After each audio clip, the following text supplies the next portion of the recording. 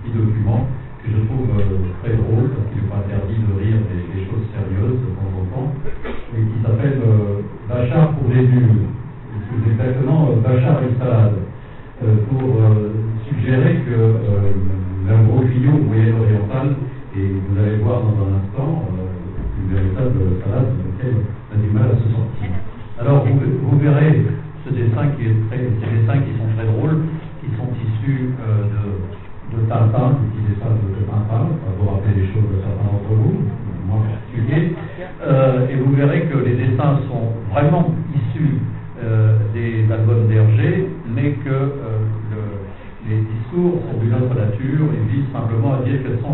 les gentils, puisque dans Tintin, il y avait effectivement les méchants et les gentils. Et là, vous verrez que euh, bon, ben, les amis des gentils ne sont pas obligatoirement gentils, les ennemis ne sont pas obligatoirement méchants, etc. Et ce que j'aime bien, c'est, euh, après cette série de petits dessins extrêmement drôles, la conclusion, euh, c'est finalement, tout ça c'est très compliqué, hein, c'est la salade, et dit pour simplifier, tout le monde, il est gentil, sauf Daesh. Voilà. Donc, je pourrais presque arrêter, parce que c'est en quelque sorte une forme de, conclusion de cet exposé que je voudrais faire et que je vais essayer de ne pas rallonger, parce que je suis euh, habituellement euh, assez long euh, sur le sujet. Alors, quand je dis que c'est une confusion, un imbroglio, euh, cette confusion s'exprime à, à tous les niveaux. S'exprime au niveau du public, au niveau des médias, particulièrement aussi parfois au niveau euh, des dirigeants, ce qui est plus inquiétant.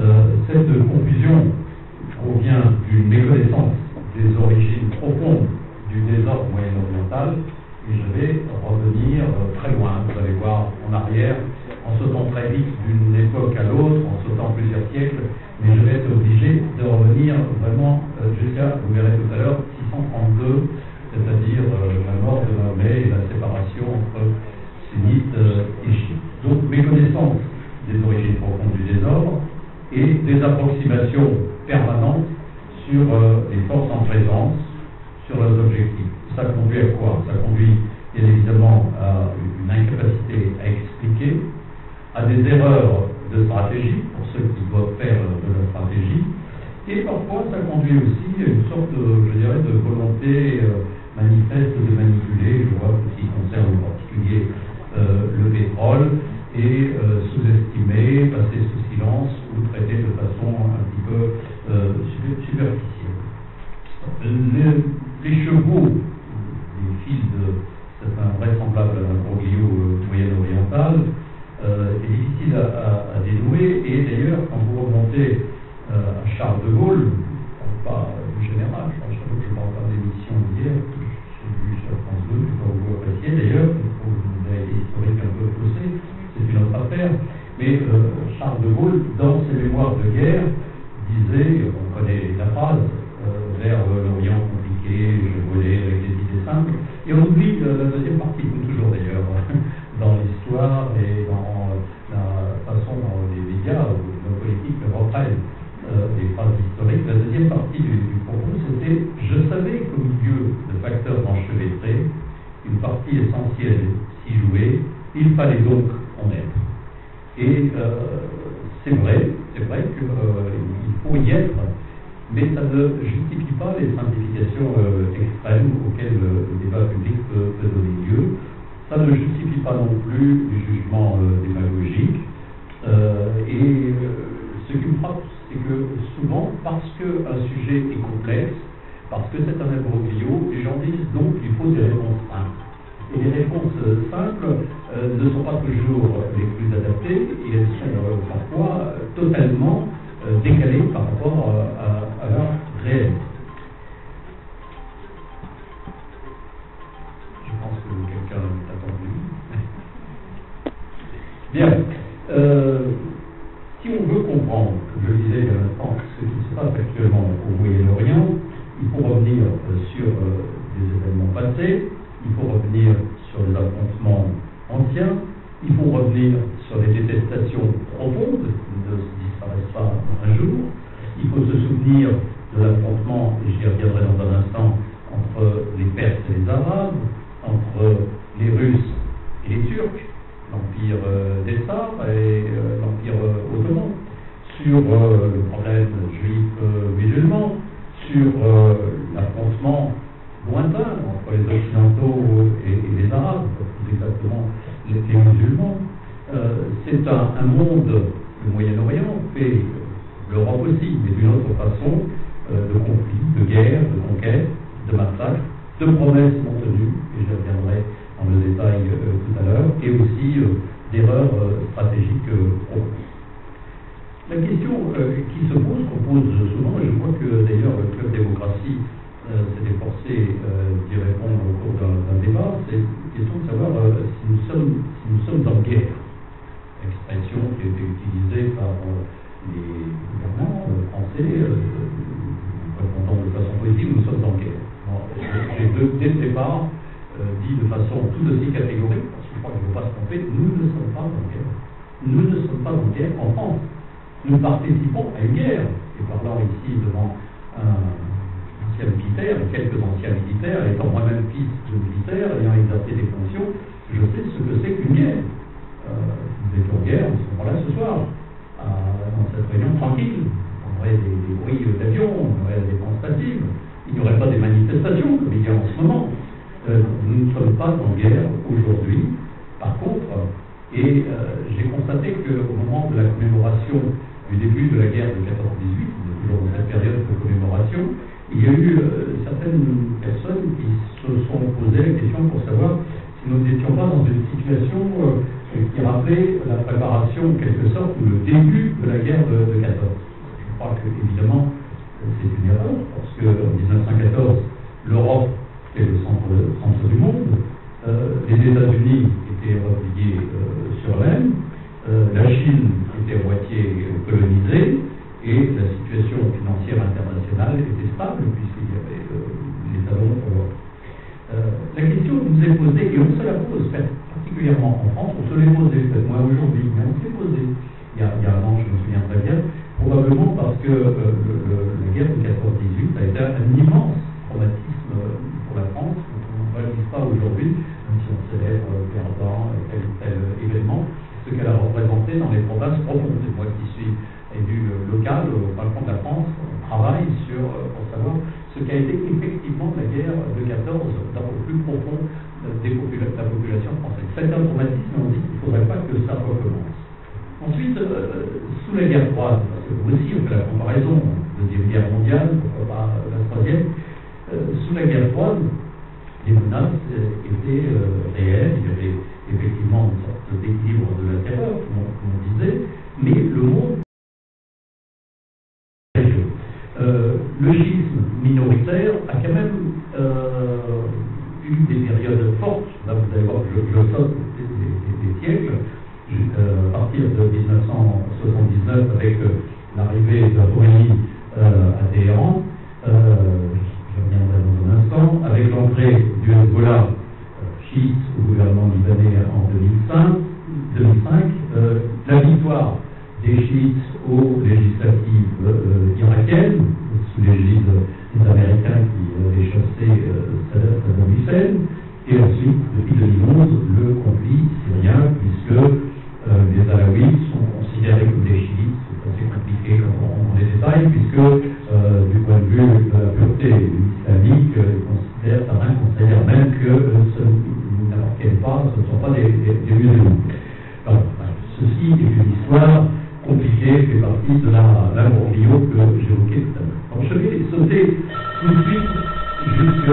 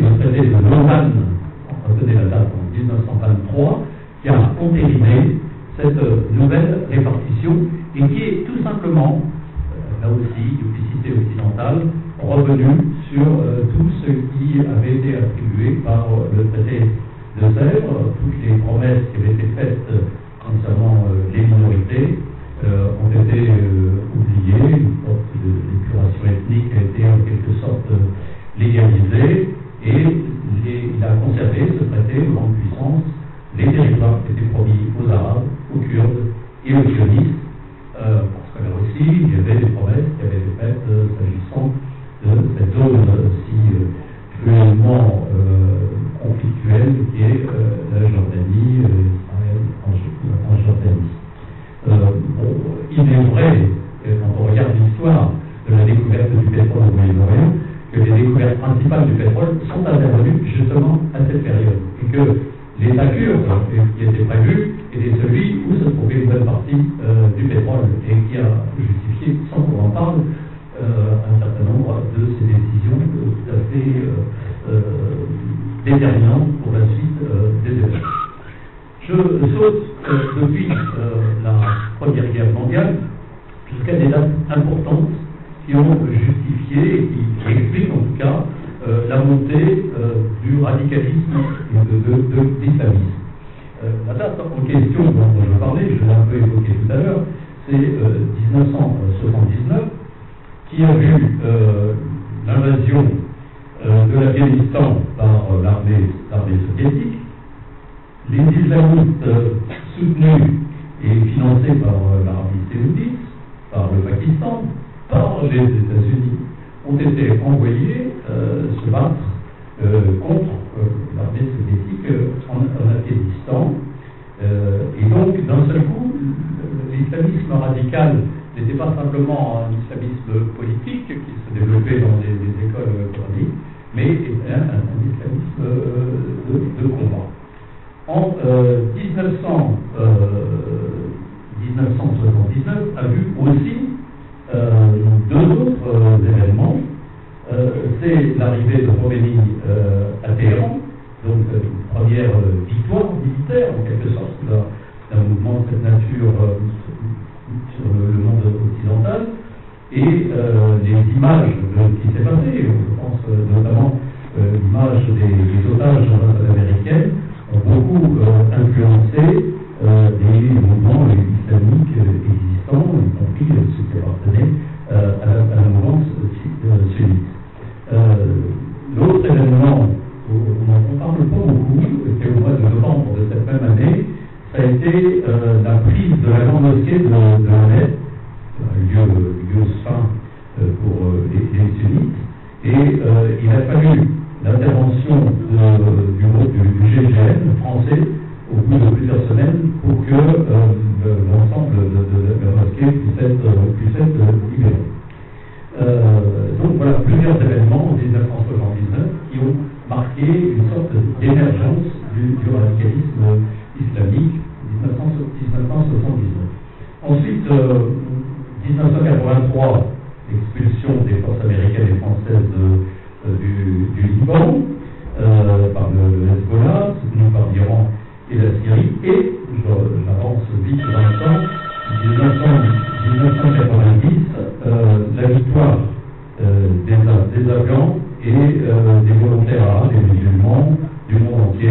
Sur l'armée soviétique, ça a été un, un événement très, très fort qui a, a, montré que, qui a montré que l'islamisme de combat pouvait remporter, remporter des C'est trop fort Bien. Euh, donc, nous sommes là, euh, 1900, 1990. Euh, c'est une autre euh, date charnière dans, dans l'histoire de l'islamisme politique, puisque Saddam Hussein euh, avait décidé d'envahir le Koweït et que les États-Unis ne pouvaient pas accepter que euh, Saddam Hussein, l'Irak, viennent concurrencer l'ami saoudien. Et donc, euh, il a, les États-Unis ont euh, mis en place un, ensemble, euh, une coalition, euh, pas simplement occidentale, avec euh, le, soutien euh, des, pays, des pays arabes. Et pour les rallier, Washington leur a promis de créer un État palestinien dès que la guerre serait terminée. il a également accordé la moitié de la dette extérieure à l'Égypte, il a remis la moitié de la dette. La Syrie exigeait le droit d'intervenir au Liban contre les forces du général Aoud. Bref, toute une série de promesses ont été faites pour permettre euh, justement que cette large coalition puisse vaincre euh, Saddam, Hussein. Et euh, à ce moment-là, l'armée américaine l'armée, américaine s'est euh, installée durablement en Arabie Saoudite et euh, c'était ça a été très vite considéré comme une énorme erreur, ce qui n'a pas empêché les Américains euh, d'y demeurer, euh, puisque pour les Saoudiens, le fait d'avoir euh, des infidèles, des chrétiens, des juifs euh, sur la Terre Sainte, c'était considéré comme, comme un affront, ce qui a largement été utilisé par Ben Laden par la suite. Donc euh, cette guerre qu'on a appelée euh, la, la, guerre du Golfe a été euh, un, nouveau paramètre dans l'équation de, l'islamisme politique, puisqu'il s'est rajouté, en plus des, arguments idéologiques, religieux, avancés, un fort sentiment anti-américain, et ensuite ça a été anti-américain, et tous ceux qui soutenaient les, les, les, les Américains. Euh, au cours euh, des années 90, cette montée en puissance d'anti-américanisme est allée de pair avec une volonté des groupes euh, islamistes de euh, se développer et se développer parfois par euh, la violence, ce qui les a marginalisés des, couches moyennes qui euh, les soutenaient. Et finalement, cet échec de l'islamisme politique, que je qualifierais de politique l'a fait devenir en quelque sorte un, mouvement terroriste et on peut dater cela euh, des, années, euh, des années 90. Donc voilà les, dates euh, importantes euh, de, du démarrage euh, du mouvement islamiste radical 79, 83, 89, j'ai oublié, c'est important, ça a été le, départ des forces soviétiques d'Afghanistan, si je l'avais dit tout à l'heure, qui a préludé la, la, prise de pouvoir des talibans et au développement d'Al-Qaïda. 90, la première guerre du Golfe. Les années 90, toute une série d'attentats contre les intérêts euh, américain qui a culminé avec euh, euh, l'énorme affaire de, du de la, destruction des tours du World Trade Center le 11 septembre 2001. Ensuite, à partir de là, 2001 jusqu'en 2014, l'intervention internationale à la suite du, du 11 septembre en Afghanistan, avec le maintien ensuite des forces américaines, même si l'intervention en Afghanistan contre les talibans au titre euh, de euh, la légitime défense, qui est dans la charte des, Nations Unies, euh, c'est la communauté internationale qui était intervenue, mais ensuite les Américains ont repris ça à leur compte et ils sont restés plus longtemps que de raison, la France aussi d'ailleurs. Ensuite, l'histoire bien connue de 2003 et de l'intervention en Irak, euh, sur la base d'un mensonge dont on connaît maintenant euh, tous les éléments et la manipulation euh, de, Colin Powell, qui était lui-même manipulé d'ailleurs. Et les Américains se sont, après avoir détruit le pays, Saddam Hussein, l'ensemble de l'administration, ont laissé se mettre en place un régime corrompu, inefficace, et en, détruisant tout ce qui existait comme fondamentaux dans cet État, qui était un État sunnite et qui s'est trouvé dirigé par un gouvernement, comme je l'ai dit, corrompu et inefficace, euh, à base essentiellement de chiites. Ensuite, à partir de 2010, euh, il y a eu euh, ce qu'on a appelé les, printemps arabes qui ont renversé la plupart des régimes autoritaires, sauf en Syrie, et justement, on va y venir, et il faut rajouter enfin, si je puis dire, pour cette période 2011, l'intervention euh, en Libye, une intervention internationale, mais évidemment en outrepassant le mandat qui avait été donné par le Conseil de sécurité et euh, en ne prévoyant aucun suivi euh, de cette opération militaire, qui devait être une opération dans un premier temps défensive, qui a été offensive, et il n'y avait aucun suivi politico-militaire, ce qui fait que la Libye est devenue cette zone de non-droit qui est en train peut-être d'évoluer positivement, mais cela va prendre beaucoup de temps et présente euh, énormément, énormément de risques.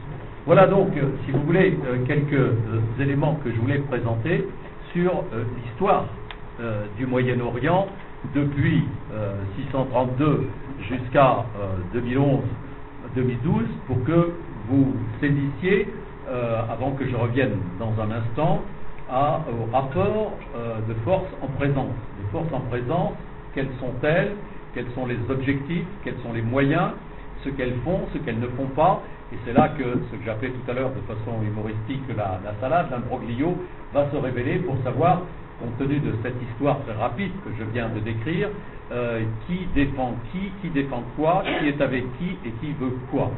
Euh, c'est très compliqué. Mais avant cela, et avant qu'on passe peut-être à la suite du repas, et je, réinterviendrai ensuite, de façon à ce que soyez pas totalement affamés. Euh, un mot sur euh, l'État islamique avec quelques dates clés qu'il ne faut pas oublier. L'État islamique euh, que, qui est un prolongement sous une forme très particulière d'Al-Qaïda. Al-Qaïda qui, qui a été créé en 1988 euh, la doctrine qui a été forgée notamment par Ben, ben Laden et quelques théoriciens autour de lui en 1996 s'est implantée en Irak dans le chaos que j'évoquais il y a un instant, successif à la disparition de, Saddam Hussein et, aux erreurs multiples commises par les Américains, euh, s'est installé en Irak en, 2004 et en octobre 2006, il est devenu euh, sous le, nom euh, euh, anglais ISIS, c'est-à-dire Islamic State in Iraq and Syria, donc l'État islamique en Irak et en Syrie, et ensuite, de façon plus réduite, EI, État, État islamique. en mai 2010, la direction de, de l'État islamique a été prise par al-Baghdadi, En 2011, et c'est là que les choses commencent à se compliquer, l'État islamique euh, soutient le front euh, al-Nostra, c'est-à-dire Al-Qaïda en Syrie, et puis il rompt ensuite avec euh, l'État islamique parce qu'il refuse d'inscrire son action dans un cadre national. L'objectif, et on en viendra tout à l'heure, et c'est important de le comprendre, je l'ai dit il y a un moment, c'est un objectif territorial. Donc ce qu'il veut, c'est un territoire. Et l'idée d'avoir euh, Al-Qaïda en Irak, Al-Qaïda en Syrie, ça ne lui convient pas. Et donc, il y a là des batailles internes très difficiles à comprendre de loin, mais qui sont importantes et qui expliquent parfois euh, certaines confusions que l'on peut, peut voir, y compris dans des décisions euh, de, de dirigeants.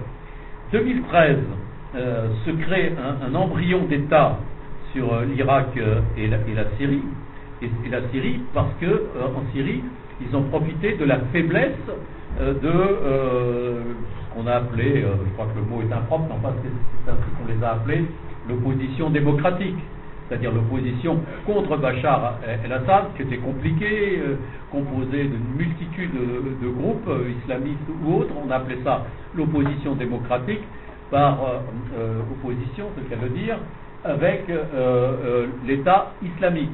Donc le territoire a commencé à se composer à travers certains éléments d'Irak, certains éléments de Syrie. En 2014, euh, euh, l'État islamique, euh, prend Mossoul, très important, à cause évidemment Mossoul en Irak, très important à cause du pétrole, ressource principale de l'État islamique. Et pour ce qui me concerne, j'ai depuis longtemps, depuis le début, posé la question de savoir pourquoi on a attendu si longtemps pour bombarder euh, les puits pour bombarder euh, les réserves. Les arguments qui m'étaient opposés étaient euh, tout à fait fallacieux.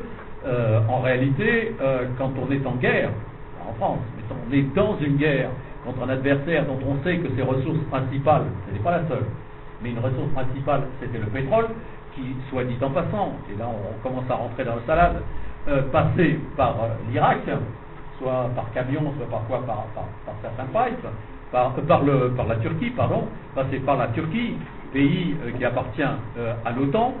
Euh, donc vous voyez que les choses commencent à, se compliquer, autant dont le pays principal des États-Unis dit combattre l'État islamique, compliqué. donc prise de Mossoul en 2014 et à la mi-2014, l'État islamique, donc Baghdadi, proclame le califat, mot important à retenir parce qu'il fait partie dans euh, cette histoire et dans cet inconscient musulman comme notion unificatrice de territoire, mais pas le califat sur le Syrie et l'Irak, mais sur une dizaine de pays, dont euh, la Libye, le Caucase russe, euh, etc.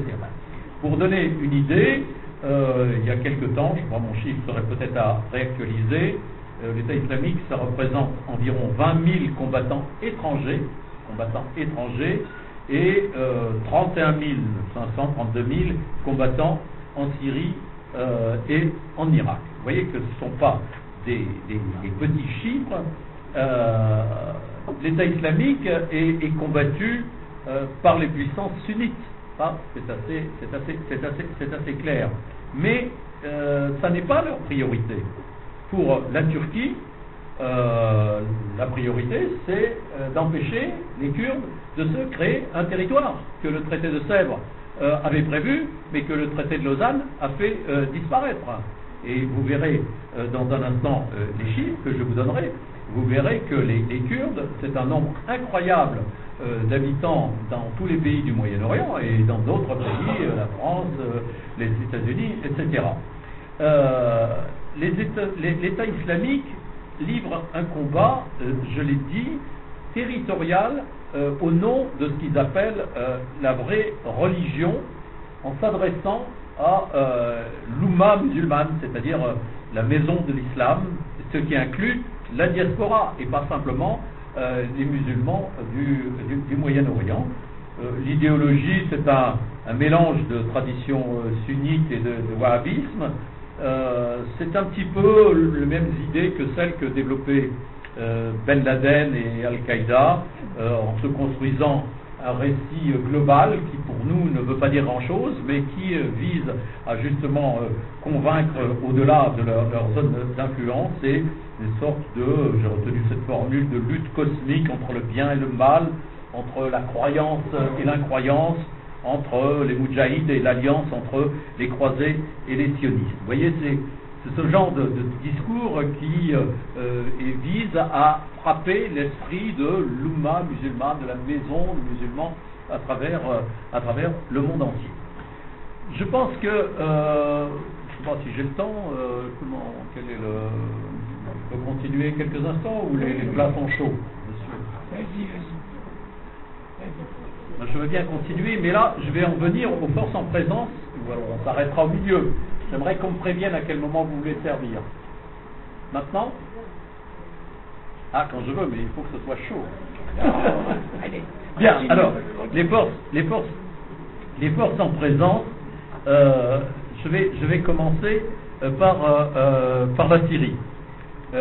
La, Syrie, vous vous souvenez des, émeutes dans le cadre des opérations du printemps arabe? Il y a eu en Syrie, le, 18 mars 2011, à, à Dera, euh, des émeutes qui ont été sévèrement réprimées par Bachar el-Assad. C'était une manifestation euh, pacifique et la, sauvagerie, la férocité de la répression a choqué euh, le monde entier. Et à la suite de ces événements, s'est développée une, rébellion armée avec l'ASL, l'armée syrienne, syrienne libre, euh, et des armes ont été livrées euh, à cette rébellion venant de Turquie, des pétromonarchies, des pays occidentaux, et euh, même la France qui avait invité sous Nicolas Sarkozy Bachar el-Assad en, 2008, s'est immédiatement élevé contre ce dictateur, qu'on avait invité il y a quelques années, et je pense qu'il y a une erreur qui a été commise sur la nature du printemps arabe qui n'était pas euh, la même en Syrie qu'elle a été dans d'autres pays, parce que euh, les classes moyennes et les classes urbaines n'ont pas suivi euh, le mouvement de, rébellion. Et d'ailleurs, le, Conseil national syrien, le CNS, était formé de Syriens exilés, la plupart du temps, était noyauté par les frères, les frères musulmans. et fin 2011, le conflit a pris de l'ampleur. La France a demandé euh, le rapatriement, et le départ, a demandé le, départ de Bachar el-Assad et a fermé euh, son ambassade, ce que tous les diplomates considèrent comme une erreur, euh, d'avoir fermé l'ambassade à, empêcher d'être présent et d'avoir des informations qui auraient été nécessaires par la suite ou de prendre des contacts euh, avec le régime et pas obligatoirement avec l'entourage direct de, Bachar el-Assad. Euh, en 2012, il est arrivé de plus en plus d'islamistes et euh, l'opposition était totalement éclatée. Il y a, d'après les pointages qui ont été faits, plus d'une centaine, plus d'une centaine de groupes armés différents qui poursuivent des buts différents et euh, dont l'effectif peut varier de plusieurs milliers à 100 euh, ou, 100 ou 250. Euh, tous ces, groupes ne sont pas particulièrement préoccupés par l'État islamique. Leur objectif principal, c'est de renverser Bachar el-Assad. les deux groupes les plus puissants de cette opposition, c'est Jais al-Islam et Araf al-Shaim, dont, l'effectif combiné est inférieur à, à 30 000 euh, combattants. L'objectif de Bachar el-Assad, il, est, tout à fait transparent, c'est de conserver euh, le pouvoir, alors qu'il faut rappeler qu'il est extrêmement minoritaire, vu que euh, les Alaouites qui sont sur la partie ouest du pays représentent moins de, 15%. Mais il a des soutiens, des soutiens forts, et notamment ce que l'on appelle l'arc chiite, l'arc chiite, c'est-à-dire l'Iran, l'Irak, le Hezbollah au, au, Liban et bien entendu euh, la Russie, qui fait partie de, l'arc chiite, mais qui est venu le compléter et comme je le dirai un peu plus précisément euh, dans un instant. Euh, les, méthodes qu'il utilise contre les rebelles sont extrêmement brutales. Des rebelles qui sont disparates, comme je l'ai dit, puisqu'il y a les, ce qu'on appelle les modérés, mais je mets des guillemets, je ne sais pas très bien ce que ça veut dire, les islamistes, des Kurdes, et il y a évidemment des populations civiles qui sont malheureusement l'enjeu de, tous ces crimes et de tous ces affrontements. Quelques chiffres pour fixer les idées. Euh, là, là c'est vraiment une guerre. Le bilan est, terrible. 250 euh, 000 euh, morts, dont plus de 10 000 enfants. 50% de la population a fui sur environ un peu moins de, 24 millions d'habitants, dont 4 millions à l'extérieur et dont presque 3 millions en Turquie. Donc voilà des chiffres extrêmement, extrêmement forts. Euh, qui montre quand même que euh, gouvernement syrien, j'y reviendrai dans un moment, Bachar al-Assad, euh, a réussi quand même, on va voir dans quelles conditions, à retrouver une position qu'il n'avait pas au moment où s'est déclenché ce qu'on a appelé le, le, printemps, le printemps arabe. alors, je cherche voilà, des, quelques cartes qui sont parlantes.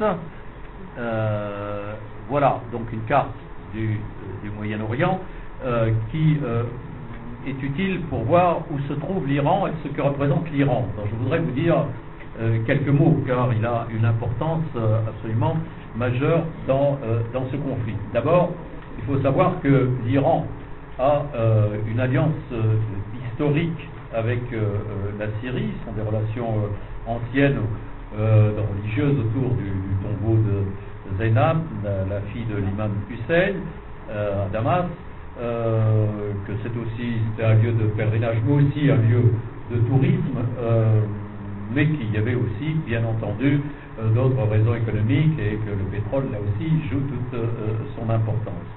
Il ne faut pas oublier, on en parle rarement, qu'il y a eu un soutien de la Syrie à l'époque du père d'Assad, c'était Hafez al-Assad, et du Liban euh, aux Iraniens dans la guerre contre l'Irak.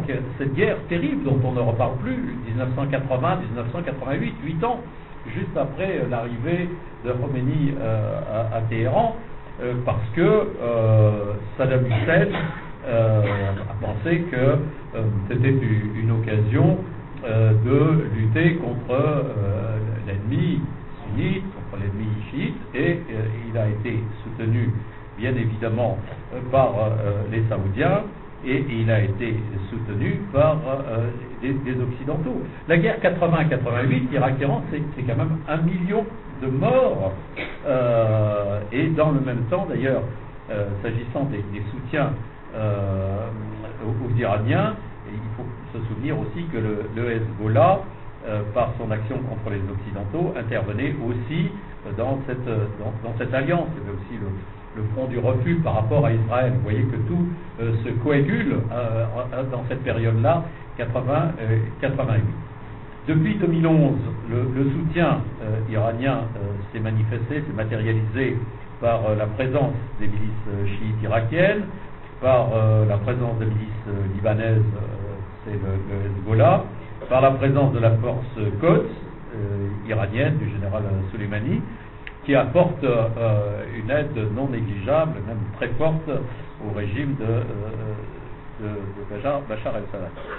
Euh, l'inquiétude principale de l'Iran, il faut savoir que c'est bien évidemment l'Arabie saoudite. Et là, je voudrais en dire quelques mots.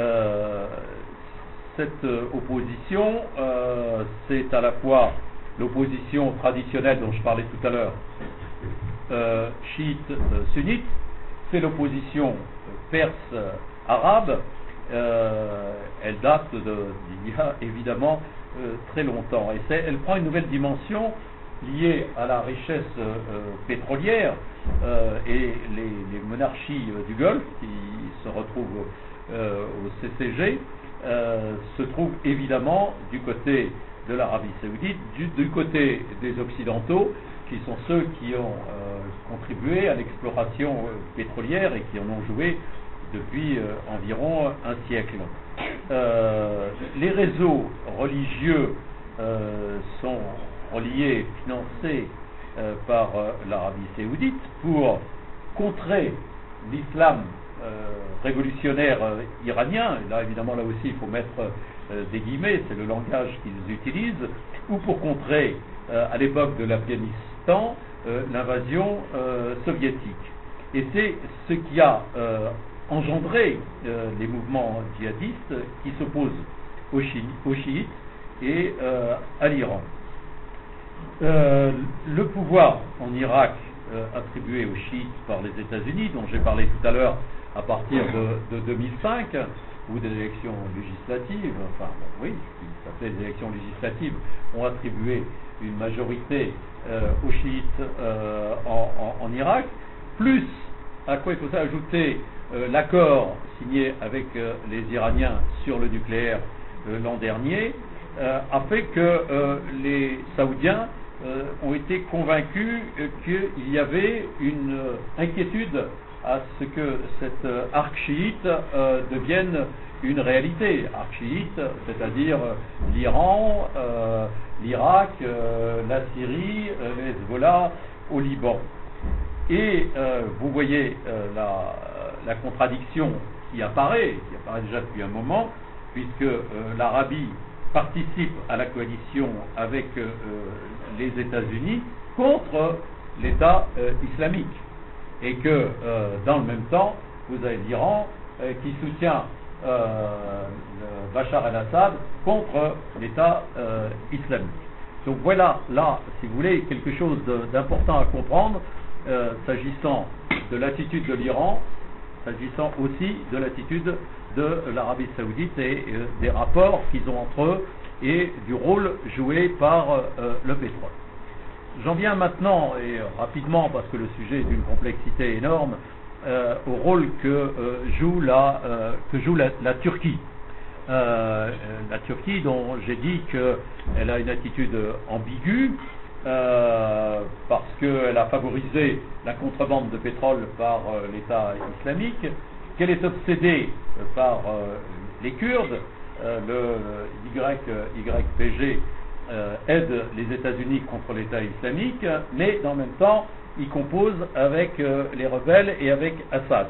Donc là, cherchez la réalité des attitudes des uns et des autres et vous tombez en plein dans la salade et l'imbroglio que j'évoquais tout à l'heure. L'aide que la Russie, dont je vais parler dans un instant, a apporté à, Assad a permis euh, aux Kurdes, l'YPG, dont, dont, je parlais d'un instant, c'est-à-dire la branche euh, syrienne euh, des, Kurdes, de contrôler une partie de la frontière, ce qui explique l'immense inquiétude de la Turquie qui voit arriver ce, risque de recomposition d'un État, enfin d'une zone kurde. Je rappelle quand même qu'en euh, Irak, le Kurdistan est une zone autonome déjà. Et l'inquiétude, c'est de voir, je vais vous montrer quelques chiffres assez impressionnants. Euh, voilà, ça c'est le nombre de Kurdes que vous avez dans les différentes, les différentes, différentes zones.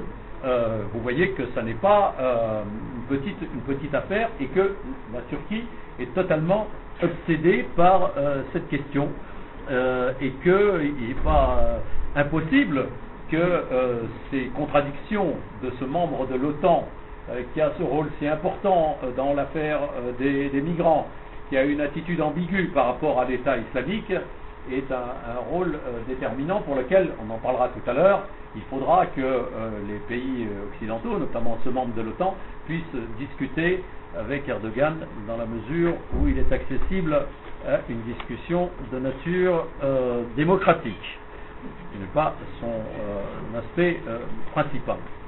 J'en viens maintenant euh, rapidement à la Russie. La Russie, dont l'attitude a pu étonner ceux qui ne suivent pas de, près la situation internationale. à l'évidence, la Russie cherche à, récupérer de l'influence. La base, la cette partie de la côte euh, de, la Syrie a été la, seule véritable implantation euh, euh, de, la, Russie au Moyen-Orient. Une, Russie qui s'est affrontée à la Turquie pendant trois siècles. C'était le tsar contre le sultan, c'était les Russes contre les Ottomans, avec comme enjeu le contrôle des Balkans, le contrôle des détroits de la mer Noire, des zones d'influence dans le Caucase et, en Asie centrale.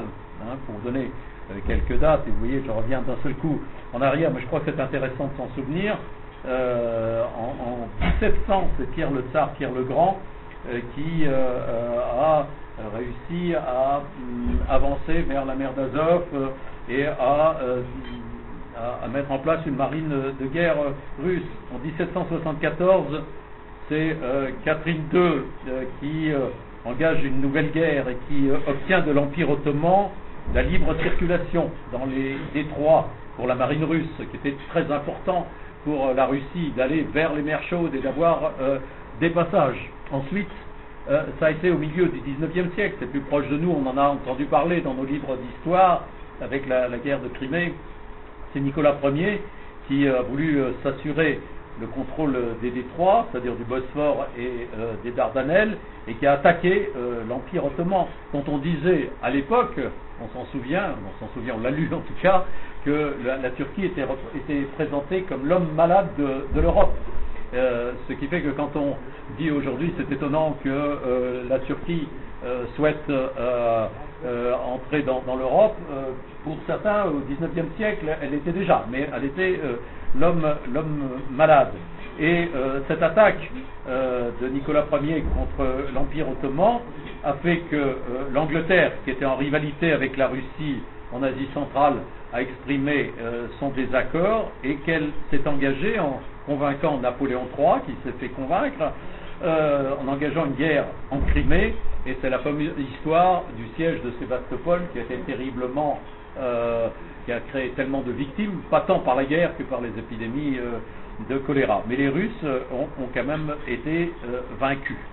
et il y a eu ensuite une lutte d'influence qui a continué entre la Russie euh, et les Turcs dans, le Caucase du Sud, en, Asie centrale, et euh, quand on entend les noms euh, d'Azerbaïdjan, de Kazakhstan, d'Ouzbékistan, de Turkménistan, de Kyrgyzstan, on entend les noms de pays qui ont appartenu à, l'Union soviétique, mais qui avaient des liens historiques avec la Turquie.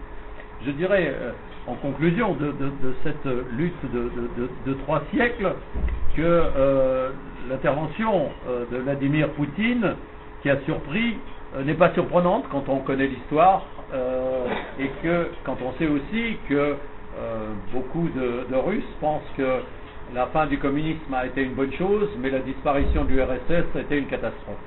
C'est ce qu'on dit de temps en temps sous forme humoristique, mais que Vladimir Poutine a bien intégré en essayant précisément, et il a plutôt bien réussi de ce point de vue-là, de regagner une influence que la Russie euh, avait, avait perdue. Et pour euh, Vladimir Poutine, la, Syrie, c'est un moyen euh, de s'affirmer en comparaison avec sa faiblesse économique, avec l'échec, il faut bien dire, de l'Union eurasiatique, et que finalement, dans ce conflit syrien, ce qui n'était pas évident il y a un an, la Russie est devenue en quelque sorte euh, incontournable.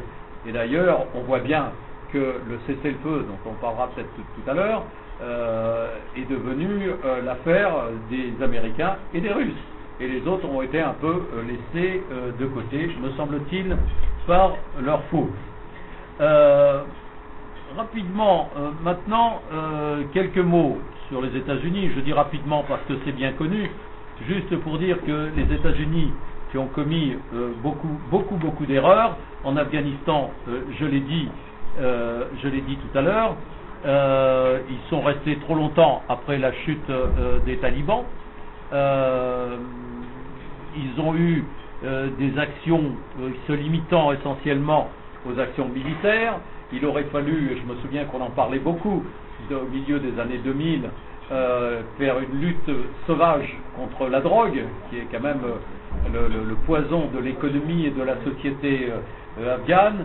Il aurait fallu euh, apporter un, soutien à toutes les forces susceptibles de sortir de, l'incapacité, de la corruption qui continue euh, dans, ce pays. Bref, En Irak, c'est à peine la peine d'insister sur toutes les erreurs monumentales qui ont été euh, commises et qui ont détruit complètement le pays, qui ont éliminé euh, les sunnites. Et c'est d'ailleurs à l'origine de la constitution de l'État islamique. Ce n'est pas les Américains qui ont créé l'État islamique, mais en détruisant tout le, système étatique qui reposait sur une majorité euh, sunnite, euh, que ce soit dans l'armée, dans l'administration, ils ont permis justement que ces gens-là se retrouvent dans la, démagogie et dans les appels faits par le califat à cette territorialisation de leur, action. Par rapport à Israël, mais ce serait tout un, débat, les États-Unis n'ont pas fait preuve de la fermeté qui aurait été nécessaire pour euh, justement éviter là aussi euh, que ce point de fixation qui demeure depuis si longtemps ne soit pas à un moment donné résorbé, comme cela été promis, je l'ai dit tout à l'heure, à certaines époques, y compris à l'époque de la Première Guerre mondiale. Ceci étant, comme rien n'est simple au Moyen-Orient, on s'aperçoit aujourd'hui qu'il y a certaines convergences d'intérêts entre euh, Israël euh, et les Saoudiens. Et on a entendu des choses étonnantes dans la dernière période euh, à, ce, sujet. très, est, oui, sur les États-Unis, quelle est, leur ligne? Leur ligne générale, c'est d'abord leur soutien à l'Arabie saoudite à cause du pétrole, soutien aux pétromonarchies, encore que dans la dernière période, l'Arabie saoudite, comme je l'ai dit tout à l'heure, qui n'a apprécié ni l'accord signé avec euh, euh, l'Iran, ni euh, le soutien à certains chiites, l'Arabie saoudite a inondé le marché du pétrole, ce qui a fait tomber les prix de façon colossale et ce qui a, entraîné que les producteurs américains, notamment de gaz et de pétrole de schiste, se sont trouvés dans des situations pour certains très euh, désespérants, et avec un impact sur la production euh, russe, sur la, sur la production irakienne, sur la production vénézuélienne, c'est-à-dire que cette baisse violente du prix du pétrole, voulue clairement par les Saoudiens, a eu des conséquences internationales tout à fait considérables. Donc, la ligne générale des Américains, c'est le soutien à l'Arabie saoudite, et c'est aussi l'opposition euh, à l'Iran, qui est une obsession depuis 1979, même si l'évolution récente, on l'a dit, à cause euh, de euh, l'accord passé avec l'Iran, semble montrer une évolution intéressante. Et en troisième position, dans l'objectif des États-Unis, c'est évidemment de contenir l'État islamique. Dernier mot avant que je me mette à table comme vous. La France. La France, euh, je crois que la France a commis une erreur, le gouvernement français a commis une erreur en faisant des deux en faisant des, deux, adversaires euh, deux ennemis à mettre au même niveau, c'est-à-dire Bachar al-Assad et l'État islamique. Je ne suis pas en train d'établir euh, une, hiérarchie ou euh, essayer d'innocenter celui qui est un, dictateur épouvantable. Mais je rappelle toujours que euh, quand on a un, adversaire euh, violent, dangereux, et qui vous menace, et dont la conséquence des actes est terrifiante, on ne doit pas se poser la question de savoir s'il y a deux ou trois ennemis principaux. S'il y en a un, on s'arrange pour passer des accords avec les autres. Je crois que c'est ce qu'a fait Roosevelt pendant la, première, la Deuxième Guerre mondiale. Il me semble que euh, euh, si Bachar al-Assad a des centaines de milliers de morts sur la conscience, euh, Staline fallait ajouter un zéro. C'est des dizaines de millions de morts. Et Roosevelt, Churchill, tous les démocrates occidentaux n'étaient pas sans le savoir. Et s'ils l'ont fait, c'est pas qu'ils acceptaient cela, c'est qu'ils considéraient que tactiquement, à un moment donné, il faut savoir passer des alliances. Je ne pense pas qu'il y aura une alliance possible avec Bachar el-Assad, et ce n'est pas ainsi que les choses sont en train de se passer. Mais il peut y avoir, et il y a eu euh, à Vienne, il y a déjà plusieurs années, en 2012, en 2014, euh, euh, une annonce faite de la recherche d'un accord avec certains éléments du régime syrien, certains éléments. Ce n'était pas Bachar el-Assad. La difficulté étant que certains euh, pays euh, sunnites euh, veulent absolument la disparition rapide de Bachar el-Assad. Simplement, dans l'histoire de la géopolitique, dans l'histoire des compromis internationaux, il y a toujours un moment où on trouve une solution et j'espère que cette solution sera trouvée. Il n'en demeure pas moins que la France euh, euh, a eu tort. La France a eu tort, mais elle est revenue dessus ensuite, après euh, les attentats en France, en disant que ennemi principal, c'est l'État islamique, ce qui ne veut pas dire qu'on accepte quoi que ce soit de la part du dictateur Bachar al-Assad. Et il y a eu un épisode moi j'ai ressenti très fortement là aussi comme une erreur, c'est l'épisode de l'été 2013 avec l'affaire de euh, l'armement chimique qui, aurait été utilisé par Bachar al-Assad. Je pense que c'est lui, j'ai eu quelques doutes aussi, mais enfin, mettons, mettons que ce soit lui. Et la France a, pris une position extrêmement violente à ce moment-là, vous vous en souvenez. Il a même été question, euh, et dans certains médias pas très informés ou euh, aimant les simplifications, il s'agissait tout simplement d'aller bombarder la Syrie pour faire disparaître les stocks d'armement chimique.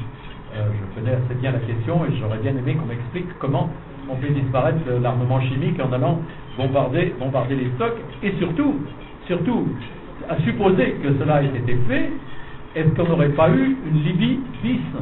C'est-à-dire qu'il n'y avait aucune euh, possibilité et aucune suggestion d'accord politique euh, de gouvernement ultérieur, et la chute d'Assad aurait certainement entraîné la liquidation des Alaouites, des chrétiens, euh, et euh, la, Syrie aurait été sous la loi de d'Al-Nosra et de, l'État euh, islamique. Je ne dis pas que la situation est, clarifiée, mais il y a eu depuis une avancée dans les discussions, dans les négociations. On en parlera tout à l'heure si vous le souhaitez. Je crois que c'est important.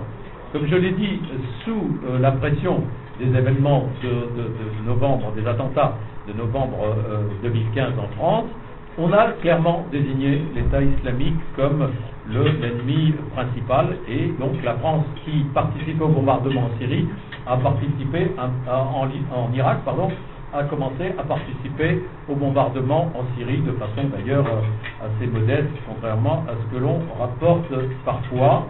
Euh, et elle appuie également l'opposition euh, syrienne arabe et qui a été constituée à Riyad, en Arabie Saoudite, en décembre 2015. Euh, voilà ce qu'on peut dire sur euh, la France.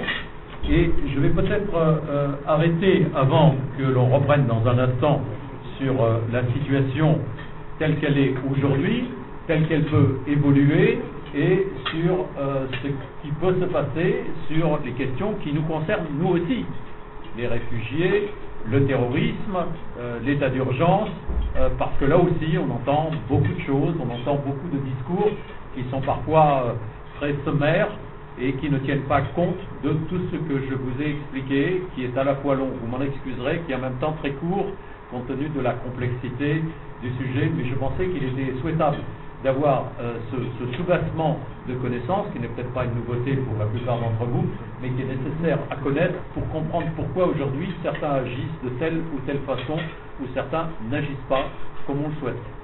Voilà, bon appétit.